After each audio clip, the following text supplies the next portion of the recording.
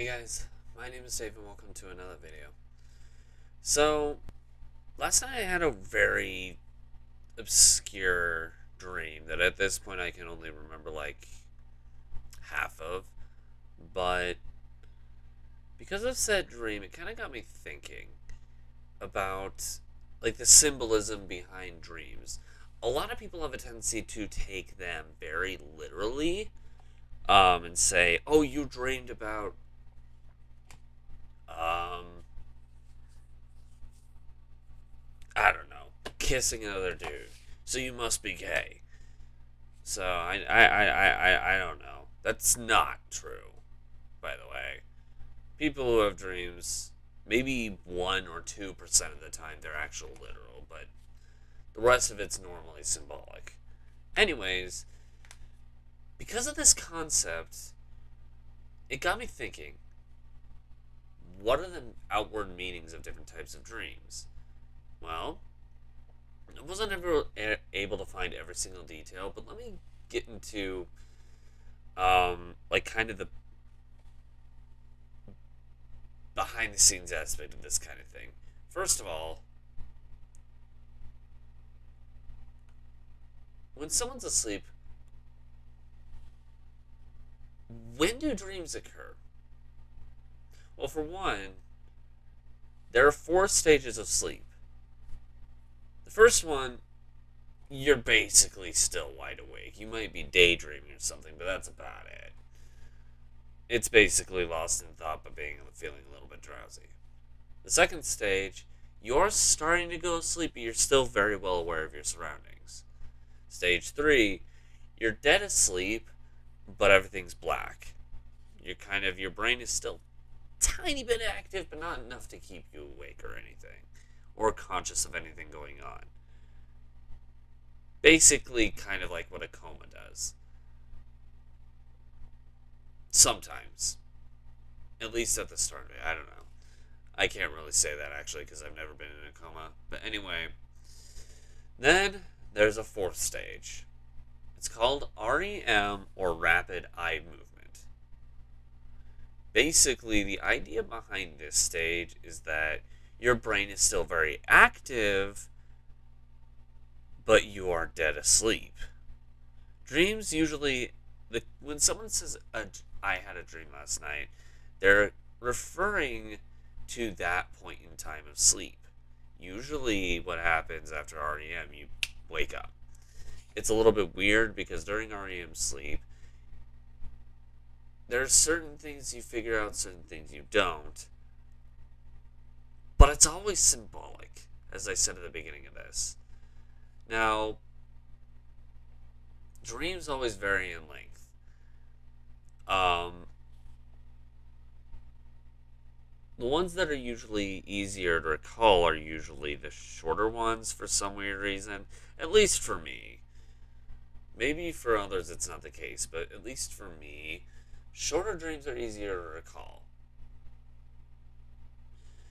Longer ones, I think, are just harder just because there's more detail that's easy to space out. The more the details, the, the, the, the more details added to a dream, the more you forget about it because, I mean, you wake up and for the most part, people can't remember dreams anyway. That's probably why, is because there's so much detail involved in said dreams. I mean, but they do always have a tendency to vary between 20 and 30 minutes anyway. But anyway, I guess there are several different meanings for dreams. I mean, it really kind of depends. But I'll just go on a couple different dream types um, just to kind of give a short idea of how dreams aren't literal, but they're more symbolic. For some reason, any kids watching this, avert now. If you don't understand that word, then just don't watch the rest of this. You've been warned. So, the only reason I say this is because what I'm about to talk about, what I'm about to bring up is something that can be interpreted wrong or may not be understood if you don't get the topic. We good? Okay, don't say I didn't warn you. First of all, dreams of violence. There are a couple different meanings for this. For one, um, dreaming, there could be different variants. First of all, um, natural disasters when it causes violence and it just is very destructive. If you dream about that kind of thing, well, you feel like something has gone out of control, out of your hand. That can never be a good sign. If you start dreaming, like for example, say you, you're, uh, this is out of the blue. This is when, I create these things, by the way, they're just coming out of the nick of nowhere. Um, say you dream about a tornado hitting while you're trying to have dinner with the family. It probably, in this case, means that there's something in regards to someone you care about, whether family or friends or whatever, that you just don't seem to have a grasp of, that you feel like something's out of control between you and those individuals. Dreaming about committing violence is completely different. It can mean one of two things. One, you're angry about something. If the, that's the case, what is it? If it's not that, then there's also a second option to that. It could also mean that you aren't accepting about a part of yourself you've had a dream about, well, I don't know, you get in a random fight with another individual. There's something about yourself that you don't accept, or you have anger on your mind for some weird reason. Finally, there are dreams as well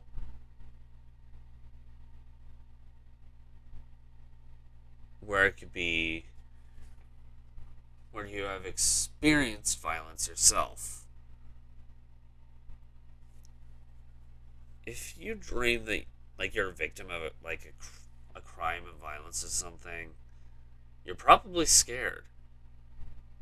You're afraid of something. IRL. If that's the case, what is it? Now, there are a couple other dream types like violence against children or family, but you get the point of that one. I want to move on to one other example that I'm aware of to get spare a bit of time for the video for that. And this next one, that first one was one reason why I said be wary of this part. This next one is definitely, especially towards children who are too young to understand this. Dreams about sex. Yeah. So there are different meanings for this kind of thing. This is when I had a dream way, like I think it was like I don't even remember how long ago I had the first dream involving this. I questioned why I dreamed about it, and that's when I first started learning about symbolism of dreams. It was a dream about me hitting it off with one of my siblings, my sister.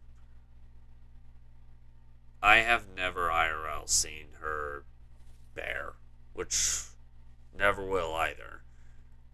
I looked up the reason. Why in the world would have I dreamed about that? I had no desire to do that kind of thing.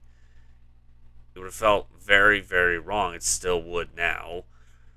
Especially because this, and because it's just, you know, weird and wrong, but I digress. Why did I dream about that? Well, I looked it up, and there are I found so many different types of dreams about sex on there that I'm just gonna list a couple of them. For one, that one. Having when when you have a dream about hitting it off with a sibling, it means you look up to the individual if you were to have a dream about hitting it off with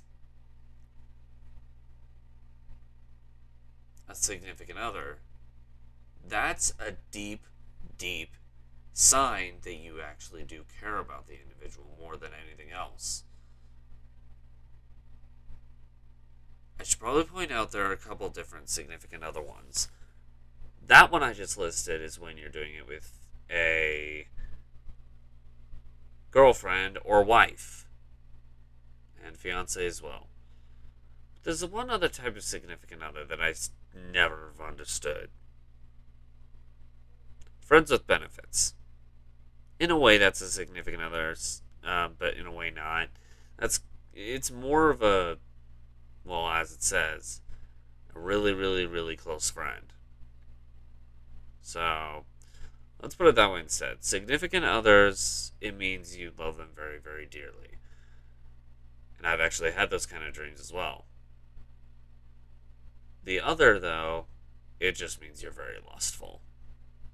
If you're having dreams about someone who you know, who you're friends with, and you start having dreams about doing it with them, you're just really lustful. There are many others. Like before, I'm not going to go too much into detail, I'm just using these as very good examples of kind of dreams that I've experienced um, that get my mind thinking about dreams, but and their symbolism, and why I find interest in them. Now, there is one more thing I do want to bring up. One thing I find very interesting that's very cultural is the history of dream interpretation. This is probably why a lot of people don't always think very, oh, the dream actually means something ish because the history itself is a 5,000 year long history.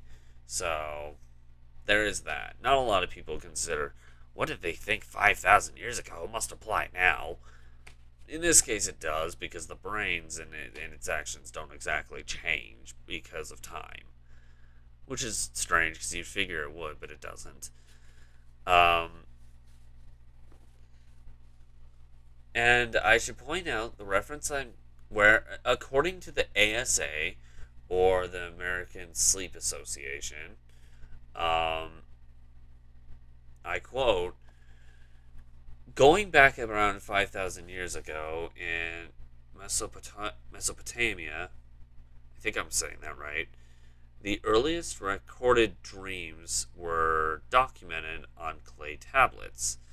In the Roman and Greek periods, people believed that dreams were messages sent directly from one or more deities from deceased people, and that they were the